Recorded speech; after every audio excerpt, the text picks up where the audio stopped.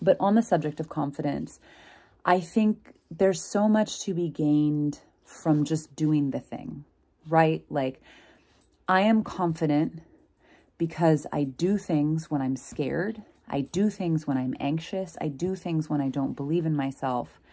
And through doing those things, I have learned that I can do them. Sometimes I do them well. Sometimes I don't do them well. Sometimes I need to do them more to get better. But by doing the thing, I discover that I can.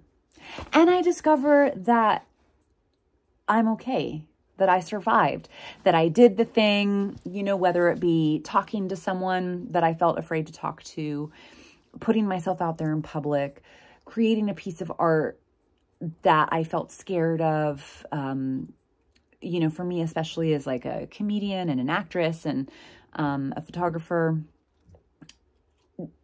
doing taking the picture, taking the photograph, doing the thing, charging the rate, putting videos on social media every single day because I need to, you know, it's it's a it's part of how I it it's part of my strategy for building my career. And sometimes it really just feels like a slog. And sometimes I don't know if it's working, but I just do the thing, right? I have people all the time, um, particularly when, you know, about like, because I post a lot on social media and all the time they're like, you're so confident, you can do all these things. And I don't know. And I feel like people are waiting to experience confidence before they do the thing. And what I want to say is that doing the thing is how you get the confidence. You're not going to get the, you're not going to magically get confidence if you never do the thing, right? So it's like doing the thing and doing it scared and doing it fucking anyways and discovering that you can. I'm getting really like, I get very passionate about this, but that's how that's how you build confidence. That's how you discover that you can. That's how you discover that you're not going to uh, turn into a puff of smoke when you do the thing. So I just want to encourage anyone watching this to just freaking do the thing. Do it scared. Do it anxious. Do it crying. I've had so many times in my life, like I, I had, what was this? This is like two years ago. I was going through a phase where I just like didn't believe in myself. I just didn't believe in myself as an artist. I was tired. Um, it's exhausting. It can be, you know, the entertainment and creative industry can be exhausting. And I remember crying, like sobbing in the middle of my kitchen floor, hugging my giant German Shepherd, just like wishing that I could quit.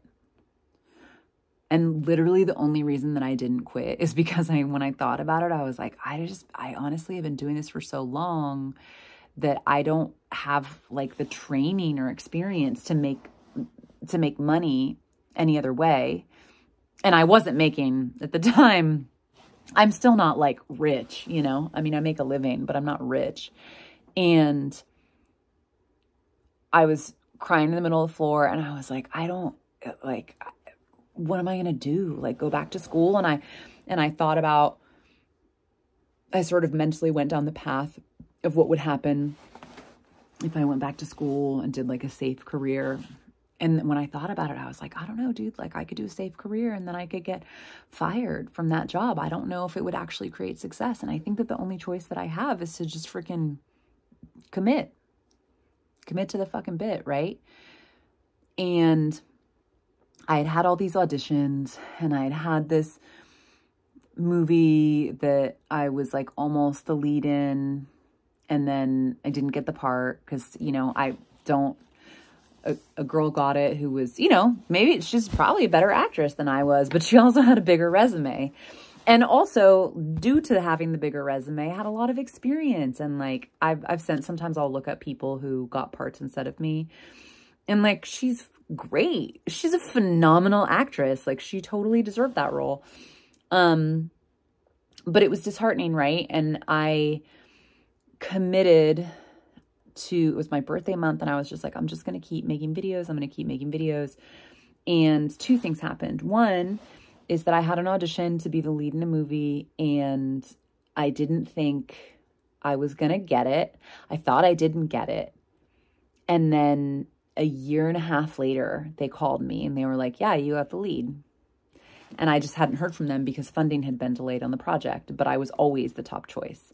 And I had been thinking, like, ah, I didn't get the lead and like, I suck and I'm not going to get this part. So I, anyways, all that to say that I just decided that I was going to keep going, even though I truly at that point didn't have any belief in myself. Like, I, I really, like, I, I didn't know what I was doing. I felt confused. I didn't feel like my talent was up to par. I wasn't believing in myself. My self-confidence was like really rough. I was having like I was going through a weird phase where I just like didn't like the way that I looked. I don't even it was just like weird. Like I think whether you're traditionally attractive or not, feeling like you don't look good is something that anyone can experience and it's just it's a weird thing. Um and I just committed to keep doing things another fun thing that happened out of that time is I made a video because I was putting myself on this quota to like make videos um to make like four a week, like four sketches, sketches and characters. I made a video. Someone saw the video, started following me, then saw more videos that I made. And this is kind of like an interesting thing.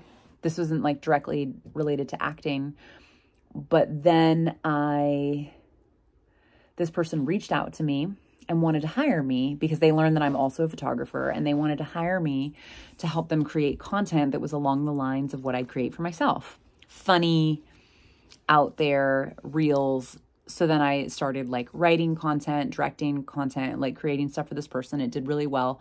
That went on to be like a really um, positive relationship. I love this person. They're a wonderful client.